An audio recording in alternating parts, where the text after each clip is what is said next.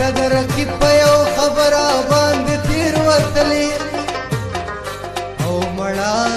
رقیبم سسړې سلکوي تیرے لیے تو جان حاضر ہے خود لستړو د مارانو ځان ساتم خود لستړو د مارانو